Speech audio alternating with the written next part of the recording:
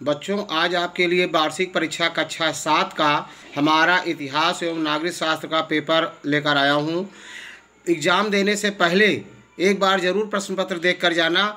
यही प्रश्न पत्र आपके विद्यालय में आया हुआ है। यदि आप मुझसे जुड़े रहते हैं तो आपको प्रतिवर्ष अर्धवार्षिक और वार्षिक कक्षाओं का आपको पेपर मिलेगा, तथा साथ साथ इस चैनल में आपके सभी विषयों की पढ़ाई भी की जाएगी। पहला प्रश्न है फिरोजपुर नगर की स्थापना की थी। चार विकल्प दिए गए हैं। इनमें से एक विकल्प सही है, जो सही हो उस पर टिक करना है। दूसरा है, सतनामियों ने किसके समय में विद्रोह किया? चार विकल्प दिए गए हैं, एक विकल्प सही है। तीसरा, फतेहपुर सीकरी का निर्माण कराया? बहुत इंपॉर्टेंट क्वेश्चन है, इसको ज़रूर देख कर जाना। तहकीक ए हिंदी पुस्तक लिखी थी।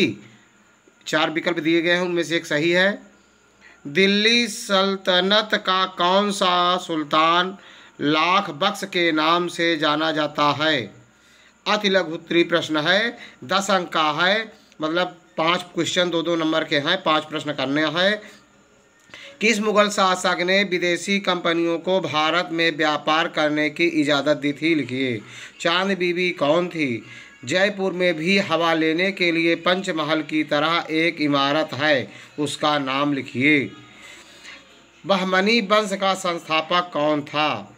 लोधी वंश का संस्थापक कौन था? पीटीओ, प्लीज़ टर्न ओवर हम प्रश्न पत्र को पलट रहे हैं। लघु उत्तरी प्रश्न है, जमानत किस प्रकार दी जाती है? क्या आप संसद में विधेयक पेश कर सकते हैं? क्यों?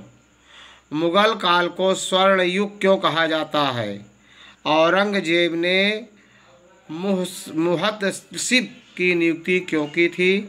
अकबर ने अपना साम्राज्य बढ़ाने की क्या नीति अपनाई? विस्तृत उत्तरी प्रश्न है। कोई दो प्रश्न करना है, तीन दिया गया है, दो ही करना है। लोक अदालत की स्थापना क्यों की गई? बहुत इंपॉर्टेंट है। इसके बारे में ज़रूर देख कर जाना। मुगल काल में सामाजिक, सांस्कृतिक समन्वय के विषय में संक्षेप में लिखो।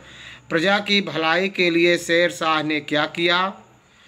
सल्तनत काल में उद्योग एवं व्यापार पर संक्षिप्त टिप्पणी लिखिए। और इस तरह से आपका प्रश्न पत्र समाप्त हुआ।